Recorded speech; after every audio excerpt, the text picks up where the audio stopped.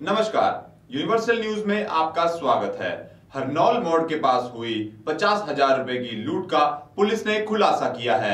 एक शिक्षक को गिरफ़्तार किया गया है और उसे जेल भेज दिया गया है।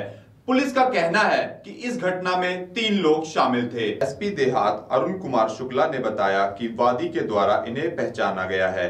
इसी के आधार पर गिरफ्तारी की गई है। सुरीर के अंदर एक लूट 11 अप्रैल को सुरेश चंद्र शर्मा के पुत्र योगेश शर्मा अपने अपनी रिश्तेदारी से पचास हज़ार रुपए लेकर आ रहे थे।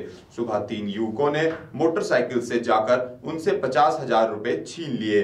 मोबाइल और कुछ पैसा इस दौरान बच गया था। उसी घटना में हेमंत चौहान पकड़ा गया है। सात हज़ार रुपए की बरामदी हुई है। एक तमंचा और दो कारतूस भी बरामद हुए हैं।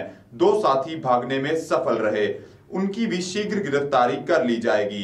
इनका कोई खास क्रिमिनल इतिहास नहीं रहा है। इसलिए जो आपराधिक घटनाएँ इससे पहले इन्होंने की थी, उनका व्यावहारिक रूप से समझौता कर लिया गया था। इससे पहले भी लूट और चोरी के मामले इनके द्वारा किए जाने की जानकारी मिली है, लेकिन इनका कोई आपराधिक रिकॉर्ड नहीं है।